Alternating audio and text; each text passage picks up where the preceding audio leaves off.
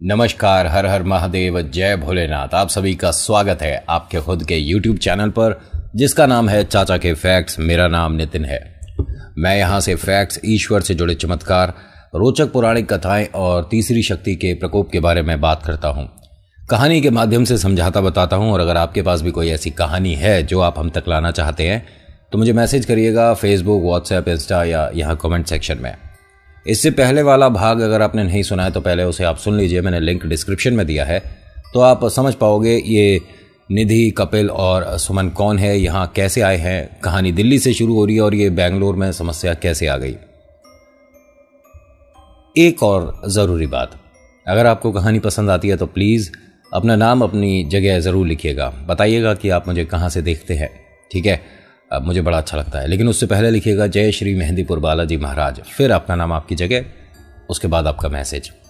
कहानी अच्छी लगती है तो प्लीज़ लाइक करिएगा और थोड़ा सपोर्ट करिए मतलब सब्सक्राइब अगर नहीं किया है और आकर बस वीडियो देखते हो तो सब्सक्राइब करो, बहुत ज़्यादा अच्छा लग जाता है हमारे को। एक एक सदस्य जो परिवार का बढ़ रहा है, वो बहुत कीमती है।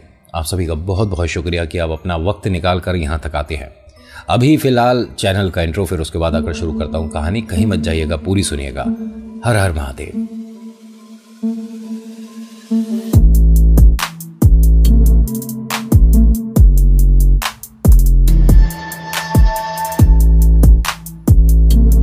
आज की कहानी में आप जानते हैं कि ये दोनों, जो बचपन से दोस्त हैं, निधि और कपिल, ये बेंगलोर आ चुके हैं और दोनों को रहने के लिए कमरा मिल चुका है। और दोनों ही किसी शक्ति के नज़दीक हैं। मैं बोल सकता हूँ साफ़ सीधे शब्दों में, ठीक है?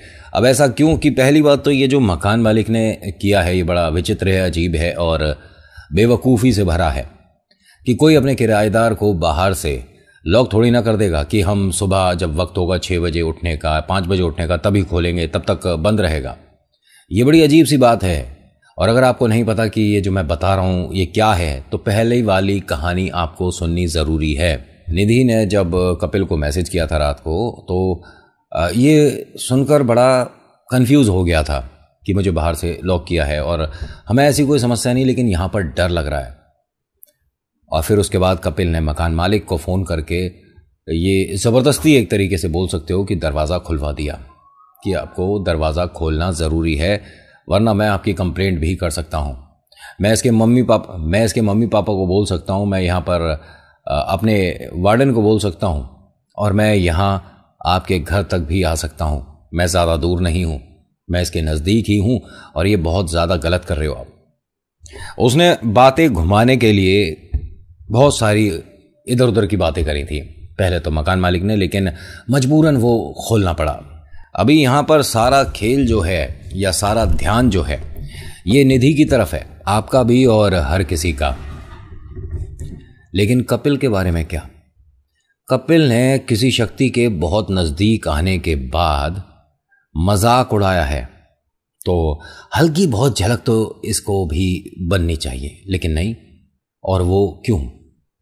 इसके कमरे में बालाजी की जो बहुत विशाल तस्वीर लगी है, फ़ोटो लगी है, उसमें नीचे हनुमान चालीसा लिखी है।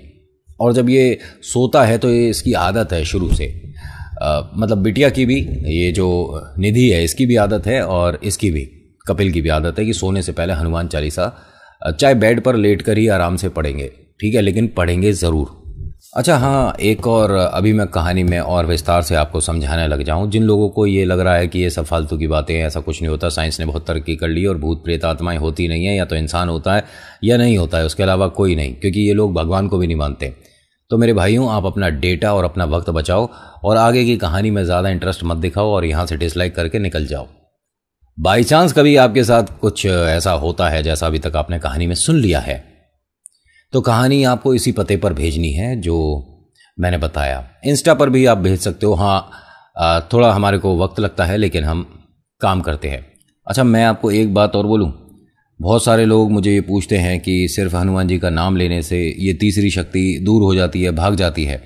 तो ठीक है आप ये कह सकते हैं लेकिन सिर्फ़ आप जय श्री राम भी बोल देंगे तो उतना ही असर होगा। क्योंकि बालाजी राम जी के प्रिय हैं और जब भी उनका नाम लिया जाता है तो वो आपके इर्द गिर्द ज़रूर होते हैं। आपको कभी भी प्रेत आत्माओं से डरने की ज़रूरत नहीं है भले ही वो कोई भी हो। कोई भी हो ठीक है डरने की ज़रूरत नहीं है। लेकिन हाँ अगर आ, आ, मैंने आपको पलटने वाला बताया हुआ है ना? वो और एक और जो मैंने एक बार कहानी में डिस्कस किया है उनके साथ थोड़ी समस्या ही हो जाती है ये थोड़े ढीठ किस्म के होते हैं थोड़े आ, आपकी बातों को इग्नोर करने वाले होते हैं जो उनकी काम की बात होगी वो उसे ज़्यादा सुनते हैं बाकी किसी भी बात पर वो ध्यान नहीं देते ये भी कह सकता हूँ कि सुनते नहीं हैं। अभी फ़िलहाल आ जाओ यहाँ इन दोनों के घर पर। सुमन और निधि कमरे से बाहर आकर लंबी लंबी सांस खींच रही हैं। ये मानिए कि अंदर इनका दम घुट रहा था। मकान मालिक को बहुत ज़्यादा ये उल्टा सीधा बोल देती हैं। गुस्से में हैं, क्योंकि भाई अच्छा थोड़ी ना अगर हमारे को इस कमरे में डर लग रहा है और आप बाहर से लॉक करके जा रहे हो तो ये क्या तरीका होता है? इन्होंने बहुत कुछ सुनाया लेकिन न जाने इनकी आवाज़ अड़ोस पड़ोस के लोगों तक क्यों नहीं पहुँच रही। या ये भी कह सकता हूँ कि इर्द गिर्द जो रहते हैं ना जितने भी लोग, ये अड़ोसी पड़ोसी सामने मकान जिसका है वो वो जानते हैं कि यहाँ इस तरह का कुछ होने वाला है और होता है और होता रहेगा, लेकिन कोई भी इसके मामले में बीच में नहीं आ रहा। ये भी हो सकता है ना कारण कि लोग इससे डरते हैं, इसकी विद्या से डरते हैं या इसके साथ इस घर में जो रह रहा है उससे डरते हैं। और सबसे विचित्र बात क्या है कि अभी तक इनके घर में किसी और के बात करने की आवाज़ सुनाई नहीं दी है। निधि ने वक्त नहीं देखा कि क्या हो रहा है और उसने अपने घर पर पापा को कॉल मिला दिया। जब गुड़िया डर रही है तो पिता सदैव उसके साथ होते हैं और ये जानती है कि इसके पापा इसे कितना ज़्यादा प्यार करते हैं। और ये बात अगर मैंने पापा को बता दी तो पापा अभी की अभी इस कमरे को खाली करने के लिए बोल देंगे। उसने कॉल किया, पापा ने फ़ोन उठाया तीन चार घंटे के बाद और एकदम बोलते हैं कि, बिटिया, इस टाइम कॉल कर रही है, तू कब से इतनी जल्दी उठने लग गई? अरे, अभी तो साढ़े चार बजे हैं। पापा, मेरे को आपकी याद आ रही थी। बेटा, अभी तो एक दिन हुआ है। मुझे भी तेरी बहुत याद आ रही है और अब सोने दे मुझे। तुझे भी पता है, मैं आठ बजे से पहले नहीं उठता। चुपचाप सो जा तू भी और मुझे भी सोने दे। बस इसने पापा की जो आवाज़ सुनी है ना, उसी से इसमें हिम्मत आ गई। अपनी दोस्त सुमन से बोलती है कि चल एक काम करते हैं। अब बाहर का एक राउंड लगा कर आते हैं। इसने कहा, मैं नहीं जाऊँगी, अभी अंधेरा सा है। अरे लाइट जल तो रही है और देख, आगे शायद एक ग्राउंड है। ग्राउंड में लोग आ गए होंगे। सुबह सुबह सब लोग घूमने आते हैं। चलना उसने मना कर दिया कि मैं नहीं जा सकती। अगर तुझे जाना है तो तू अकेली चली जा। इसने कहा, ठीक है, फिर मैं जाती हूँ। अब ये वहाँ से घूमने के लिए मॉर्निंग वॉक करने के लिए निकल गई है। सुमन अपने कमरे में आकर वापस से सोने की कोशिश कर रही है, जो कि बड़ा मुश्किल है। अब इसे बहुत क्लियर आवाज़ आ रही है इनकी रसोई में।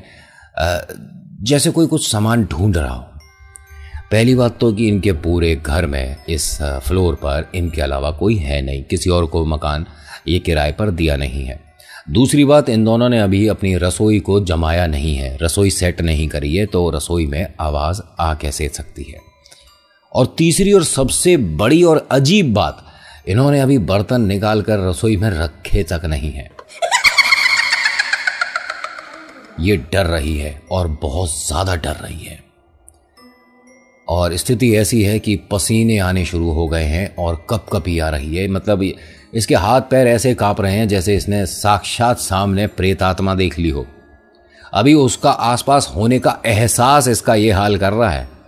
लेकिन इसकी फ्रेंड मॉर्निंग वॉक पर गई है, घूमने गई है। वहाँ कपिल थोड़ा सा चिंतित है, परेशान है कि वार्डन के हिसाब से ही यहाँ से जाना है, चाहे कितनी भी बड़ी समस्या हो, ये क्या बात होती है? वार्डन से जाकर इसने बात करी, मेरी दोस्त के साथ कोई समस्या है, मुझे उसका रूम बदलवाना है, उसने कहा, कोई भी बात हो, आप अभी नहीं जा सकते। वैसे तो बेटा, हमारी टाइमिंग ज़्यादा है, लेकिन चलो कोई बात नहीं, मैं सात बजे आपको यहाँ से जाने के लिए बोल दूँगा। अब बड़ा परेशान है। रूम पर आया तो इसका दोस्त वो जो था, वो सो गया है। मन में इसके उत्सुकता है। कि बराबर वाले कमरे में है क्या? अपने कमरे के बाहर आता है, बराबर वाले कमरे के दरवाजे पर कान लगाकर कुछ सुन रहा होता है, तभी इसका फ़ोन बजता है। आज पहली बार ये डर गया। और जब फ़ोन आया, उसने जेब से फ़ोन निकाला है, तभी इस दरवाजे से भी कुछ आवाज़ सी आई थी। जैसे उधर से भी कोई कान लगाकर सुनने की कोशिश कर रहा हो कि सामने वाला जो उधर है, क्या बोल रहा है। निधि ने कहा कि क्या कर रहा है तू अभी? तो बोलता है कि मैं भूत प्रेत के कमरे पर कान लगाकर आवाज़ सुनने की कोशिश कर रहा हूँ। वो हंसने लगी। मैं समझी नहीं, क्या बोल रहा है तू? भूत प्रेत कहाँ? तेरे हॉस्टल में? अच्छा हाँ सबसे बड़ा भूत तो तू है। तो उसने कहा, नहीं नहीं, सबसे बड़े भूत तो तू है ना। तू कहाँ घूम रही है? पीछे ट्रैफ़िक की आवाज़ आ रही है। अरे, मैं वहाँ सोने का भी मन नहीं कर रहा था, नींद आ नहीं रही है, कमरा मुझे छोड़ना ही है तो अभी वॉक कर रही थी। अरे कहाँ वॉक कर रही है? नई जगह है, कहीं रास्ता भूल गई तो कोई बताने वाला भी नहीं है। वापस जा कमरे पर। नहीं, मैं नहीं जाऊँगी। अगर मुझे दोस्त मानती है तो तू अभी वापस कमरे पर जाएगी। ऐसे इतनी सुबह, अरे कोई अपनी जगह होती जान पहचान वाली जगह होती या हमारा दिल्ली होता तो हम समझ सकते थे। नई जगह है, मत कर ये सब। जा कमरे पर जा। और तेरी फ्रेंड कहाँ है? वो रूम पर है। अच्छा तू वहाँ भूत प्रेतों के साथ छोड़ाई। अब ये हंस रही है।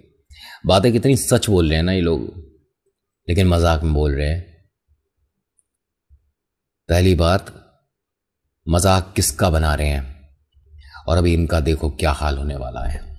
अभी कपिल ने उसका फ़ोन कट कर दिया, जेब में रखा फ़ोन, और चलने लगा अपने कमरे की तरफ़, लेकिन दोबारा से, मन करा चलो एक और बार सुनकर देखा जाए। दरवाजे पर कान लगाया। धीरे से आवाज़ आई से कपिल। अब तो कोई सीनियर मज़ाक कर रहा है। हाँ, बोलो। कपिल।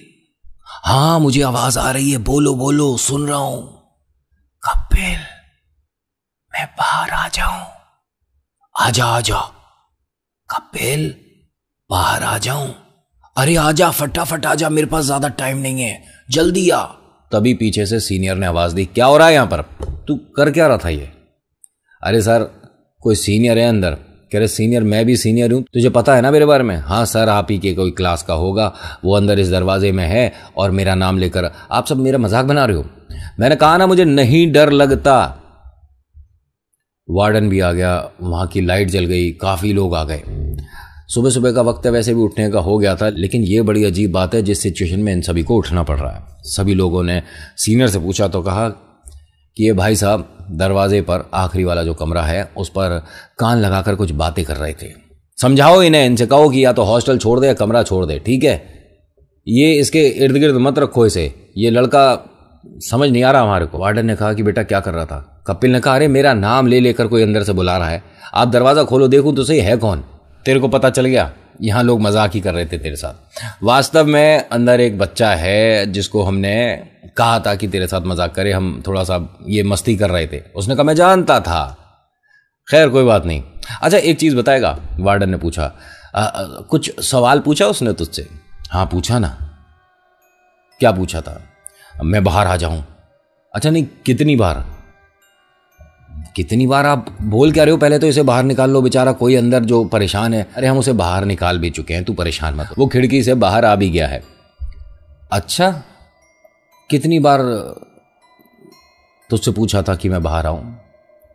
दो बार पूछा था और शायद तीसरी बार जब बोलने वाला था तभी सीनियर ने मुझे आवाज़ दे दी। मतलब तीन बार नहीं बोला तूने। चिकन नहीं, आप ऐसे क्यों कर रहे हो? अरे, चल, कोई बात नहीं। जा अपने कमरे में, जा, सो जा। सभी ने ये मानो राहत की सांस ली कि इसने तीन बार नहीं बोला है। बड़े बुज़ुर्गों ने एक बात बताई है कि अगर उस समय की बात है जब हर जगह मतलब लाइट नहीं थी, व्यवस्था नहीं थी। बहुत कुछ ऐसा मालूम नहीं था लोगों को तो तीन बार खटकाने पर दरवाज़ा नहीं खोला जाता था। कहते थे कि नेगेटिव एनर्जी का आसपास होना ज़्यादा संभव है। या ये भी कहते थे बहुत सारे लोग कि अगर कोई तीन बार दरवाज़ा खटकाता है तो ये भूत प्रेत आत्मा भी हो सकता है। इस बात को तो थोड़ा सा भी साइड कर दो।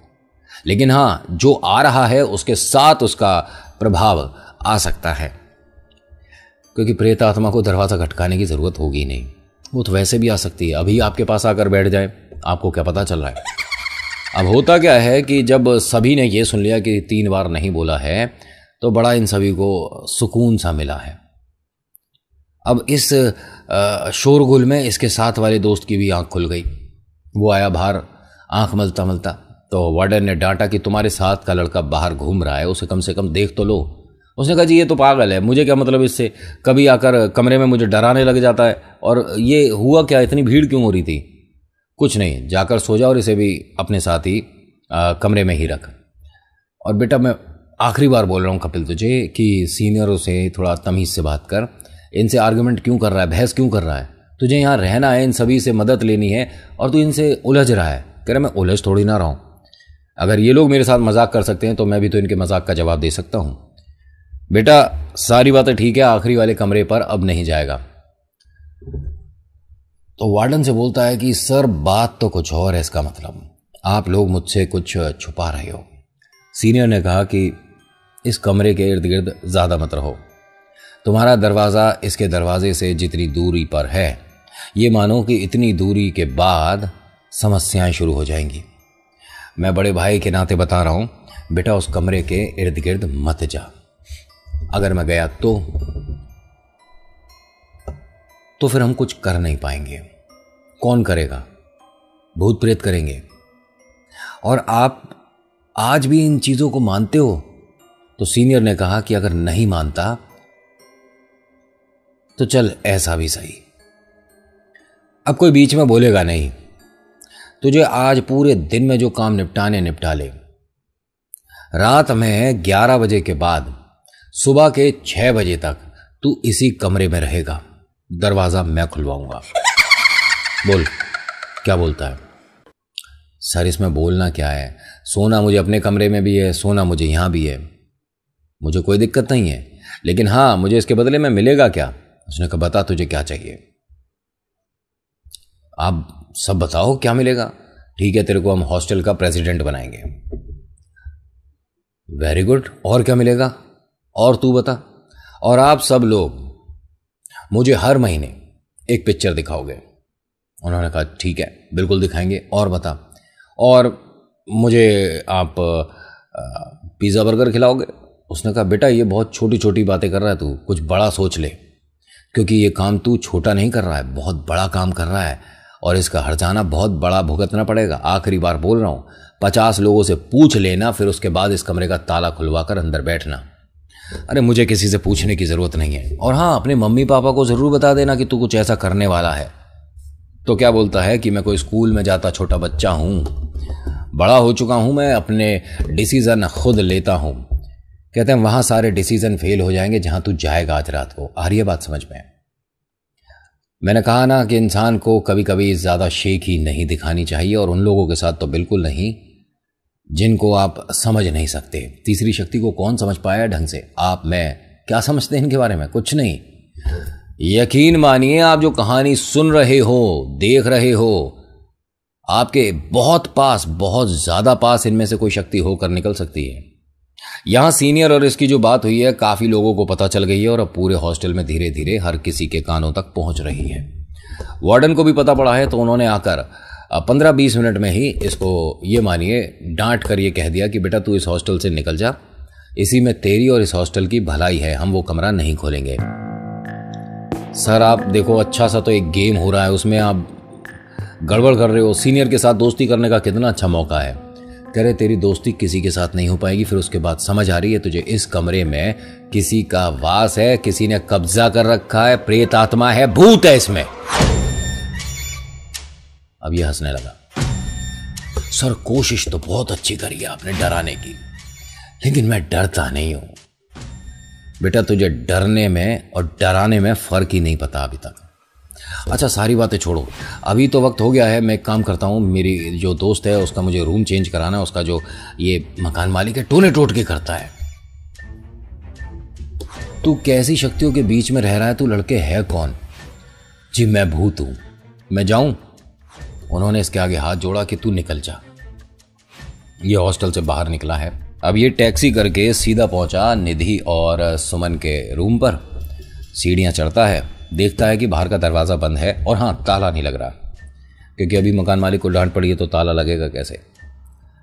इसने दरवाज़ा खटखटाया, कोई रिस्पॉन्स नहीं आया। नेचुरल बात है, सो रही होंगी।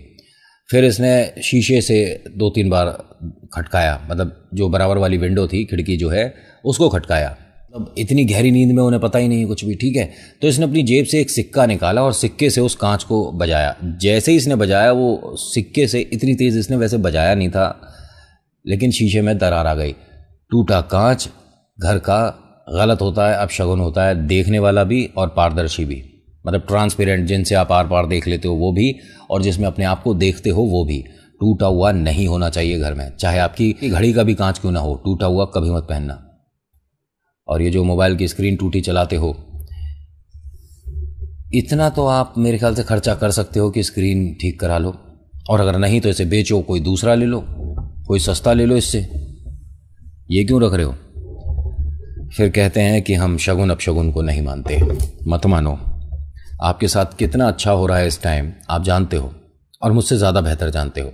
वो काम करके देखो जो मैं आपको कहानी के माध्यम से समझाता बताता हूँ। अब दरवाज़ा खटकाते खटकाते, कांच पर इस तरह से सिक्का बजाते, जब ये कांच हल्का सा टूट गया, दरार आ गई तो ये घबरा गया, डर गया कि मकान मालिक आएगा, डांटेगा।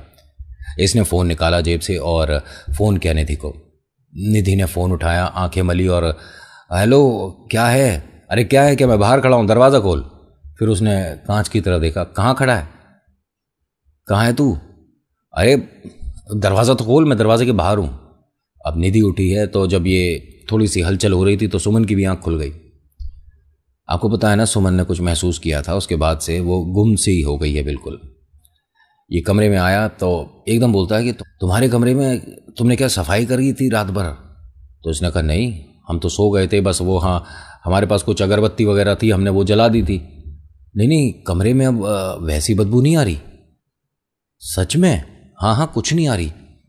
मैं जब रात आया था, तब तो बहुत गंदी अजीब सी बदबू आ रही थी और बाहर तक आ रही थी। लेकिन अब बिल्कुल नॉर्मल है, मुझे लगा शायद तुम दोनों ने सफ़ाई करी हो। तो सुमन हंसने लगी एकदम से। निधि ने कहा, तुझे क्या हुआ? तो सुमन बोलती है, कुछ नहीं। अभी नॉर्मली बात कर रही है और ऐसा मत समझना कि अभी प्रेत शक्ति आ गई, भूत आ गया घर में, ठीक है? इनके कमरे में मैंने आपको बताया जब ये सोते हैं, दोनों जने, निधि और कपिल की बचपन से आदत है कि हनुमान चालीसा का पाठ करके सोते हैं। इसी पाठ की वजह से ना तो उसके साथ वहाँ खेल हुआ, ना इसके साथ यहाँ खेल हुआ, ना इसकी वजह से सुमन पर कोई भयानक खेल हो पाया। सुमन को ये बोलती है, निधि, कि मैं ये रूम आज छोड़ रही हूँ। तू भी मेरे साथ चलना चाहेगी? हम कोई और रूम देख लेंगे। तो सुमन ने कहा, नहीं, मेरे पापा ने इस जगह के पैसे दिए हैं और मुझे डांट पड़ जाएगी। तो बोलती है कि पैसे तो मेरे पापा ने भी दिए ना, लेकिन जब हम उन्हें प्रॉब्लम बताएँगे तो वो इस चीज़ से अपने आप एडजस्ट कर लेंगे। लेकिन हम क्यों रुके? तो इसने कपिल ने कहा कि बिल्कुल ठीक कह रही है निधि, सुमन ये जगह छोड़ दो और हमारे साथ निकलो यहाँ से। नहीं नहीं, ऐसे तो तुम हर जगह बस डरते रहोगे और भागते रहोगे। तुम्हें यहाँ रुकना चाहिए। तुम्हें हर समस्या से लड़ना चाहिए, बाहर आना चाहिए। तुम्हें मेरे से डर के भागने की क्या ज़रूरत है? मैंने कुछ कहा है क्या? मैंने कुछ कहा है? निधि ने कहा, अरे, मैं तेरी बात नहीं कर रही। मैं मकान मालिक के नेचर की बात कर रही हूँ। कैसा नेचर है? बाहर से उसने बंद कर दिया था। और तूने देखा ना, वो हमारे कमरे के आगे क्या रख कर गया था? हाँ तो मुझे पसंद है ना, इसलिए रख दिया था उसने। मैंने तुझे या तेरी दोस्त को, सुमन को कुछ कही है? मैं मैं कुछ कह रही हूँ किसी को? ध्यान से सुनो मेरी बात। इसने क्या बोला अभी? मैं तुझे या तेरी दोस्त सुमन को कुछ कह रही हूँ। आ गया कुछ। और जैसे ही इस पर यह हावी हुआ है, तू जानता है ना मुझे? नहीं। आज बताती हूँ तुझे। कमरा छोड़ेगा। कैसे छोड़ेगा? मैं भी देखती हूँ। मैं नहीं जाने दूँगी। अब ये सारी बातें हो रही हैं। वन टू वन कॉन्वर्जेशन हो रहा है जी, ठीक है? किसी शरीर के माध्यम से कोई और बात कर रहा है, ये भी कह सकते हो आप साफ़ सीधे शब्दों में। मकान मालिक बाहर देखकर मुस्कुरा रहा है इन सभी को। अभी फ़िलहाल सिर्फ़ और सिर्फ़ इन शक्तियों से दूर निधि है, जो कि डरती हुई कमरे से बाहर आई और अपने दोस्त को पकड़कर बाहर खींच लिया। ये सुमन क्या ड्रामे कर रही है? तो इसने क्या बोला? कपिल ने ड्रामे नहीं कर रही है। मुझे ऐसा लगता है कि इस पर कोई हवा है। मतलब क्या बोल रहा है तू? इस पर क्या हवा, क्या मुझे डरा रहा है तू? कपिल ने कहा कि तू छोटी छोटी बातों पर तो यार डर जाती है। कैसे रहेगी यहाँ अकेले? एक काम करते हैं, हम यहाँ से दिल्ली चलते हैं। हमारे बस की है नहीं। तो उसने कहा, नहीं नहीं, मैं ऐसे नहीं जा सकती। मेरा मन है, ये कॉलेज इतनी मुश्किल से मिला है, ठीक है? और मुझे पढ़ाई करनी है मैं क्या करूँ इन चीज़ों से अगर मुझे डर लगता है और मैं उसको देखा था भी वो क्या कर रही थी? तो कपिल ने इसको बोला कि अभी पलट कर देखियो मत, क्योंकि वो जो अभी इस वक्त कर रही है ना, तू ये देखने के बाद यहाँ रुकेगी नहीं। मैं सौ प्रतिशत बोल सकता हूँ, और मैं नहीं चाहूँगा कि तू देखे। इसने ये बोलकर दरवाज़ा बंद कर लिया। इसने खूब कोशिश करी दरवाज़ा खोलकर उसे देखे कि ऐसा क्या है अंदर, सुमन क्या कर रही है, लेकिन कपिल ने देखने नहीं दिया।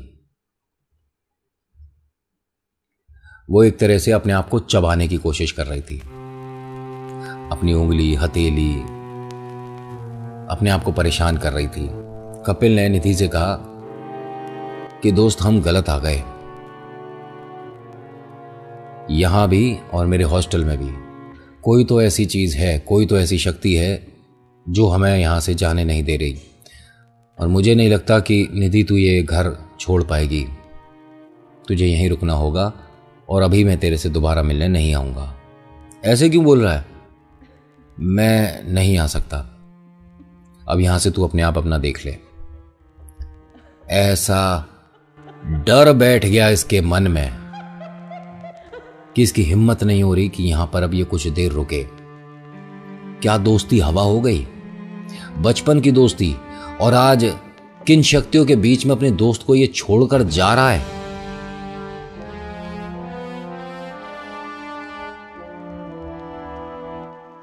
अभी तो इनके साथ कुछ भी नहीं हुआ। आगे पता चलेगा आपको एक नेक्स्ट पार्ट में। निधि, कपिल और सुमन कहाँ से कहाँ पहुँच जाएँगे, आपको अंदाज़ा भी नहीं होगा। तो आज की कहानी में इतना ही। आज की कहानी आपको कैसी लगी मुझे बताएगा ज़रूर। अच्छी लगी तो लाइक शेयर सब्सक्राइब ज़रूर करिएगा। मैं हर बार बोलता हूँ कि मेरी कहानियों पर आप एक परसेंट भी ट्रस्ट मत करो। लेकिन अपने ईश्वर पर हंड्रेड परसेंट ट्रस्ट करो, चमत्कार होने शुरू हो जाएँगे। ईश्वर होते हैं, हमेशा होते हैं आपकी मदद के लिए, हमेशा सदैव तैयार रहते हैं। बस एक बार उन्हें पुकारने की ज़रूरत होती है, सच्चे दिल से, सच्चे मन से। So thank you so much for watching मेरा नाम नितिन है। मुलाकात करूँगा आपसे एक अगली वीडियो में। हर हर महादेव, जय भोलेनाथ। धन्यवाद।